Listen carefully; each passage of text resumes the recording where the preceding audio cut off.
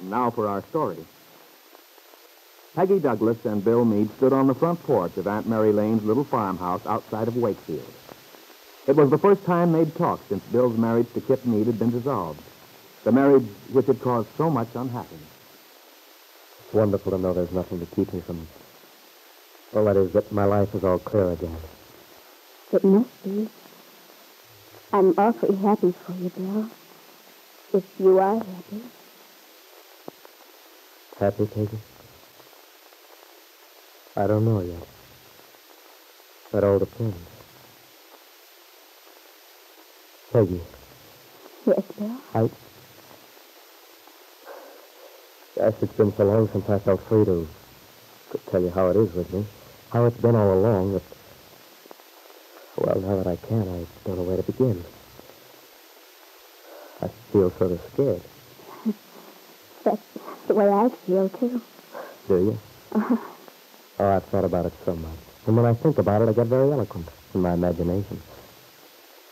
Now the words won't come out. You don't need to be eloquent, Bill. Oh, but I want to tell you how lovely you are. How I've missed you ever since, since things went wrong. I've missed you, too, Bill. You understand, don't you, Peggy? As long as I was still married to Kit, even though we'd separated, I couldn't tell you how I felt. I do understand. I wouldn't have listened if you had tried to say anything until, until everything was straightened out. And now it is. Oh, Peggy, I love you so much. Well, I, I can't even say how much. I always have. I can't make a big speech about it. I wish I could. All I can say is, I love you. I love you.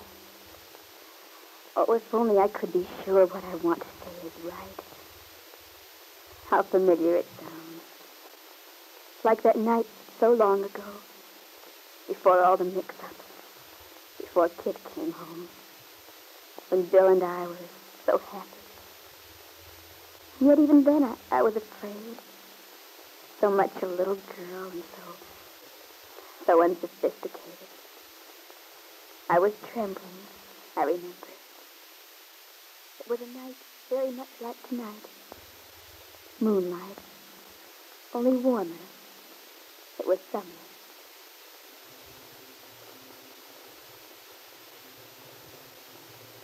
That's very nice of me, Peggy. Oh, Bill, I, I don't know what to say. I'm not sure. Darling, there's only one way for you to know. No, Bill. Please, Bill. I love you, Peggy. Oh, sweetheart. Oh, Bill. Do you know now? Can't you say I love you, too? Yes. I do, Bill. I love you, too.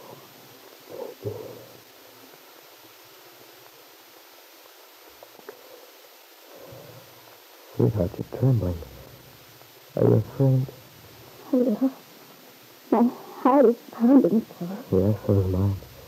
Oh, but honey, there's nothing to be afraid of. We love each other. What's there to be afraid of? I don't know. I... Didn't you want this to happen? I... Yes, I did, but I've never kissed a boy before. Oh, you sweet kid. So now you're never going to kiss another one. You're mine. Oh, Bill.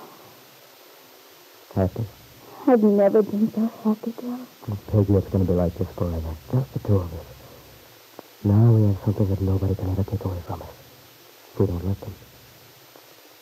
Peggy, promise me you'll never let them. I promise. Oh, Bill, I suppose it's different with a man. But for a girl, this is the moment she always dreams of. The moment when she tells a boy that she loves him. Yet she never knows what it'll be like. I've tried to imagine, but I couldn't. That's why I was afraid, I guess. The feeling so strange, so new, almost like, like being born. You're so alive, so I know. But it's never different with men. I feel like...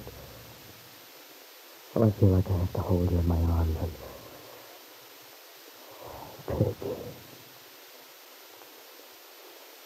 Trevor, I love you. Trevor, I love you. Now, oh, I knew then I could never say that to anyone else. Still, is it right? Can we go back? Can I ever feel the same again? Oh, I don't know. So much has happened. I'm afraid now. Almost the same as I was afraid that night. Peggy, aren't you going to say anything? Bill, I... No, Peggy, don't. I love you. I always have and I always will. But I haven't the right to ask you if you love me. Haven't the right. Why, Bill? Because, Peggy, I know it seems that I'm free. I have my divorce. The baby's been given to Kit. I'm sorry about that, Bill. I, I know how much your son means to you. And yet, And yet, yeah. Oh, Peggy, I can't stand thinking what'll happen to him if he's brought up in the Calvert house, under the influence of Ben Calvert. I know, Bill, it is hard. But at least he'll have the, the material things. Oh, yes, he'll have the material things. He'll have opportunities that I could never give him. Perhaps someday he'll even be rich. But is that what counts? Peggy, I've thought about this thing until sometimes I think I'll go crazy. I've talked to Aunt Mary, to David Bowman. And Peggy, I still think I'm right. I can't let Kit keep that boy if there's any way that I can prevent it. And I'm going to try. I don't know how, but I'm going to keep trying until I know there's no hope. Well, now you know why I'm not free. Not really. You mean that there's still a possibility that you may get custody of the baby after all? Yes. Oh, I know that it isn't much of a possibility. I, I can't even think of what it might be. But there's always that chance, no matter how small. The chance that someday the boy may be mine. And if that should happen, I see. It means that if that should happen, and you and I were married, then I'd have to raise Kit's child. yes, Peggy. That's why I wouldn't let you answer. It wouldn't be fair. Unless... Unless you do love me that much. Peggy? Could you? Oh, Peggy. Oh, why did you have to come here tonight? Why couldn't you have let me alone? Lorraine. That's your answer, Peggy? Bill, I don't know. How could I? Kit's child. No matter how much I wanted to. Oh, I feel like a criminal even thinking that an innocent little baby could stand between us. It to suffer, maybe, because, because I'm not big enough to overcome a feeling against its mother. Well, I might even try. I said that I would, but I'm afraid. Oh, Peggy, I've been selfish. You're right, I shouldn't have come here tonight. I, I, I don't know what I expected. A miracle, I guess. Well, I better be going. I'm sorry, Peggy. Will you tell Aunt Mary that the dinner was swell? And Randy and Lefty? Goodbye, Peggy. Goodbye, Bill. This was what Bill Meade had feared, and yet hoped against hope wouldn't happen. And yet he asked himself, what else could he expect?